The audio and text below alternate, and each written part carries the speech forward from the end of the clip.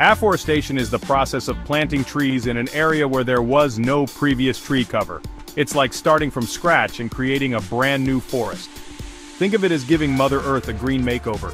Just like how a makeover can transform a person, afforestation can transform our planet. It's different from reforestation, where we plant trees in areas that were once forests but got cleared, usually by human activities. Afforestation, on the other hand, is about creating new forests from scratch. Imagine a barren, lifeless stretch of land, no trees, no greenery, just empty space. Now picture it transforming into a vibrant forest, teeming with life, birds chirping, animals roaming, and plants flourishing. That's the magic of afforestation. It's like watching nature perform a beautiful symphony. But why is it so important? Why should we care about planting trees in new areas?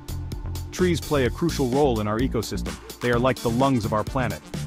They absorb carbon dioxide, produce oxygen, and provide habitats for countless species. Without trees, many animals would lose their homes, Plus they help prevent soil erosion and can even improve water quality. Trees act as natural water filters keeping our rivers and lakes clean. In a nutshell, more trees mean a healthier planet. It's as simple as that. But how do we make afforestation happen? It's not just about planting trees randomly.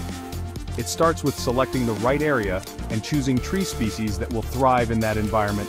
Different trees have different needs, so it's important to pick the right ones.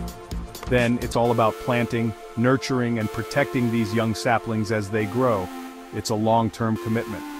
It's a process that requires time, effort, and a whole lot of love, but the rewards are worth it. Now you might be wondering, what can I do to help? How can I contribute to afforestation efforts? Well, there are several ways you can get involved.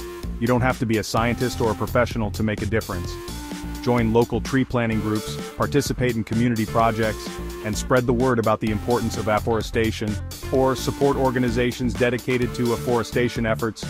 Every little bit helps. Even small actions can make a big difference. Plant a tree in your backyard or support tree planting initiatives. Afforestation isn't just about planting trees, it's about creating a sustainable future for generations to come. It's about leaving a legacy,